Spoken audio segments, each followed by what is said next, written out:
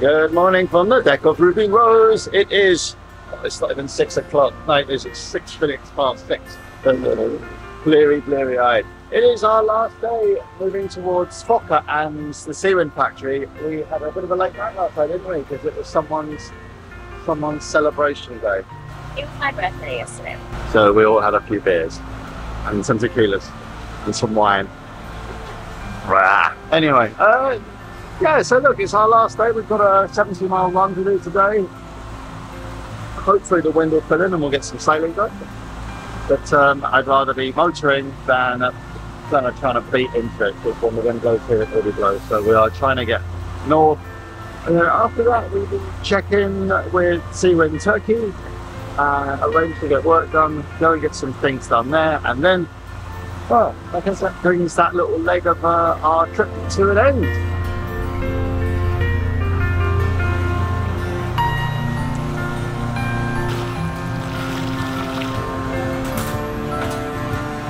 Coming up for nine o'clock. It is still absolutely flat calm out here.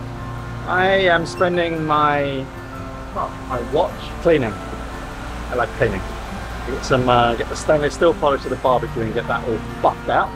The uh, the admiral, the admiral is keeping her watch from. Uh, well, let's just have a look, look and see what the admiral is doing. How is the admiral doing? Quite nicely. Quite nicely. This is what I imagined, like being on a boat was, just lying around watching the world go by. Right, well, I'll get back to the cleaning. Ring the bell if you need uh, you need any more service, okay?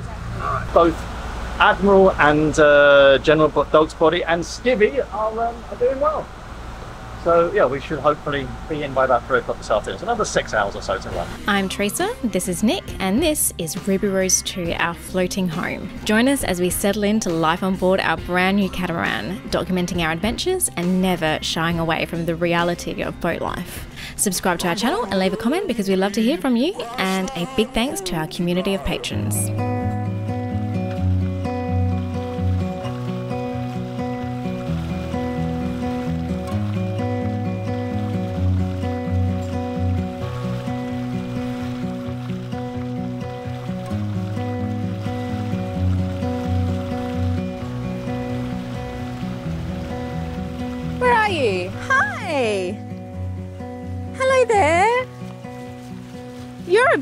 A big one! Oh, wait, come back! Yeah, well, there's quite a big pod just behind us. Hi there! You gonna come and play with us for a little while? Hi, yeah! There's, look, babe, there's loads over there. I don't know whether they're coming to say hello to us.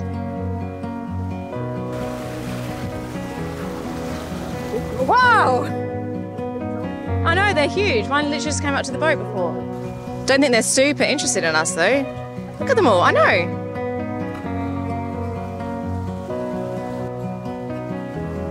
Hey everyone! What's up? You guys want to play? You see a white spot on the back of one of them, you find they're not orcas, they're lovely dolphins. Hello, you. They're big, aren't they? There you go. Look at that. Huh. Beautiful. Stunning. Wow. You're a big girl. Hi there. Hi.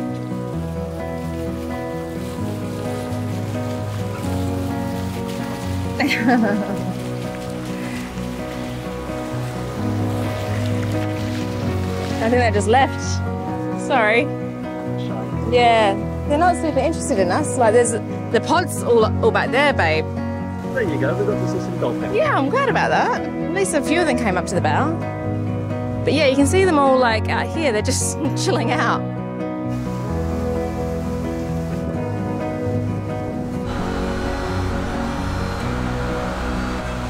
So we are only two miles away from Foca.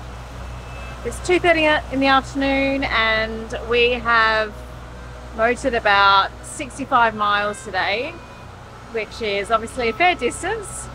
And in Ruby Rose, that would have taken us about 13 hours. But today, yeah, it took us eight and a half, nine. So that's a good feeling. We'll be hopefully tied up within the hour. We haven't had much going on today. It's been a quiet day. We've just been relaxing and Nick's been playing his music and we've just been kind of enjoying watching the world go by. It's good to have those miles behind us and to be arrived in Foca at long last. We're going to stay here for a little while, see what the uh, village has to offer.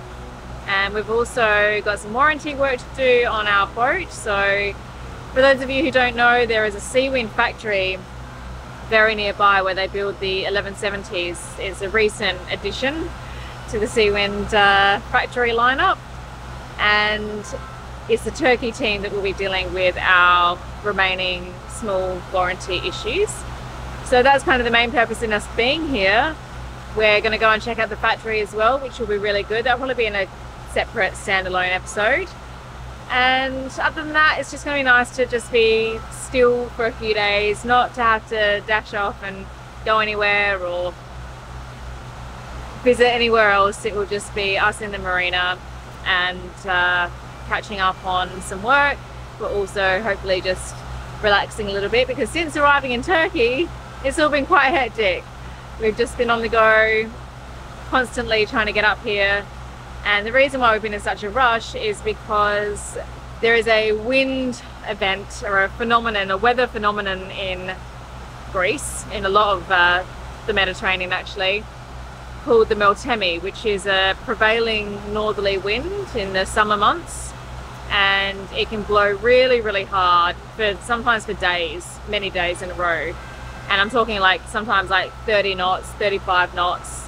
It's a real issue. It's not really an issue, it's just something that cruisers have to be hyper aware of and you have to be very flexible with your sailing plans so that if the Meltemi is blowing, then you have a protected place to be. So we really wanted to get up here, make our way north. It was a 200 mile kind of northbound journey broken up into multiple shorter passages. And yeah, we really wanted to get that north uh, kind of bound passage done so that we could get this warranty work done. And now, once that's finished, we can start heading back down south and start exploring Greece. But that's a completely, that's going to be in the future. That's not right now. Right now, we are about to come into the bay where the marina is located and we're going to tie up. And maybe I think this afternoon we might just relax. Although that being said, I think we've got a bit of a welcoming committee, so not sure that will happen. But yeah, anyway. And then this evening, I think I'll be able to talk Nick into taking me out for dinner. But first, it was time to enter the marina and try our hand at med mooring for the very first time. Terysa, can you receive me or not? Terysa, can you hear me? Yes, can you hear me? Yeah, two. Stay on channel two.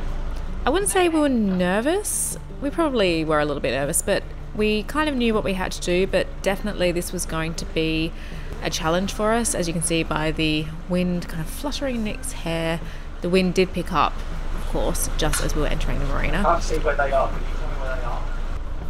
So they're on our. He said the first thing they're going to do is exploring room. Looks like we're in the last uh, berth, and it quite wide. We were feeling a little bit apprehensive, but we kind of were cautiously optimistic that we had everything under control. Thanks for this feathers. Now, because our action camera was, well, out of action, I only had the one camera to film this with, so a little bit of imagination might be required here. Uh, Terysa, are you okay? Yeah.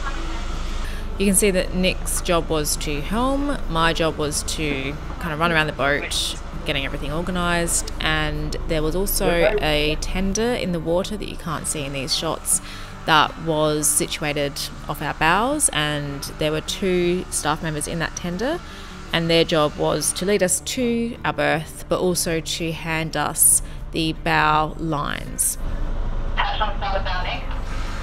So, when med mooring, you have two options. Usually, in a marina, you are given kind of bow lines or lazy lines. They're called slightly different things. They're essentially lines that are attached to some kind of sunken block that you attach your bow or bows to. and then you also attach your stern via mooring lines to the dock. You need a bit of a stone. Sometimes on town docks, and you'll see this in future episodes when we go to Greece, um, you instead of having lazy lines or bow lines, you use your own anchor. Anyway, but today the uh, staff members gave us the bow lines, and I'll just put a shot in here now so you can kind of see how that was looking. Um, this is obviously a shot of us already all moored up, but this you can see the bow lines in this shot. And then there were several people waiting for us on the dock, one of whom was Kavanch, who you'll meet properly in a later episode. He is the manager of Seawind Europe here in Turkey. And they took our stern lines. And then the idea was once you've got kind of all four corners attached, first of all, you're attached, so you can kind of just relax. Okay, the boat's in neutral. I'm in completely neutral, okay? but then you can just adjust things a little bit by tightening the bow lines and then putting the boat into hard reverse to kind of really bring it as close to the dock as possible and at that point you tighten the stern lines and we took all of our instructions from the staff members they knew what they were doing we didn't really so we just basically did what we were told Thank you both. Thank you so much. Thank you. Yeah, thank you. Welcome. Lovely to see you. Nice to see you both. also. Hi, Thursday. How are you? Thank you for coming today. Ah, no problem. Uh, yes. That was really helpful. new marina, new mooring. Yeah. Yeah, we had wind for like the last three days, nothing above five knots, and then Uh-huh. literally two minutes from coming into the marina. Oh, take a seat, take a seat. Oh, thank you. Oh, honestly, thank you for this. Oh, glad to be here. It's been. Just, you just killed it both engines, please. Mhm. Just did it.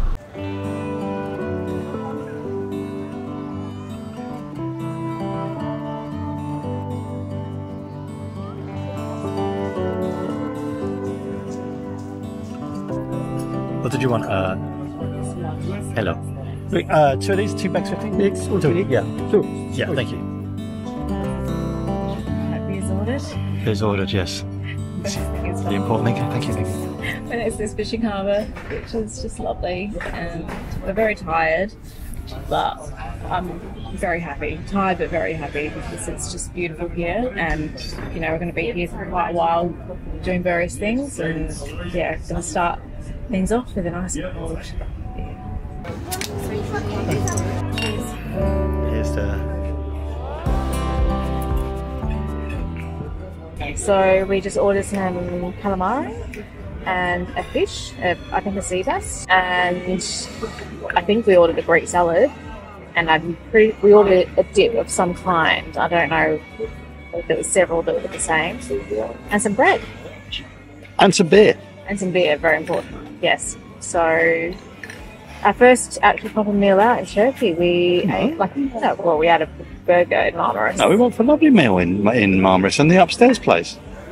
Oh, that's true, but we didn't film that, so it didn't happen. Sometimes we sail to places and we feel like we've really experienced that country like in depth. Like I would feel like if we go like Thailand, for example, we we didn't see all of Thailand, of course, but I feel like we experienced like the coastline, all all of the kind of coastal areas, all the islands of Thailand in depth. And we left Thailand, Thailand having a really good feel for at least the southern part. But I think that Turkey is just so vast that even when we leave, when like we would have barely scratched the surface, and so far it's only kind of piqued my interest for more exploration of this country, which won't be able to be done by boat. I'm very much enjoying Turkey so far, and I know that however long we spend here, it won't be enough. This is bloody lush. Yeah. Great, it's exactly what I want. Like a little, small little, kind of old town that's probably a couple of hundred years old. Like restaurants by this town quay, reasonable prices, fresh fish. Here comes food.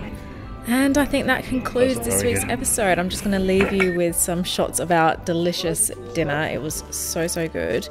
We are absolutely loving being in Turkey. We are really, really enjoying ourselves here in the Med. And if you guys want to follow along on our journey and join us vicariously for some sailing around the Mediterranean, then please subscribe to our channel. And we'll see you next week.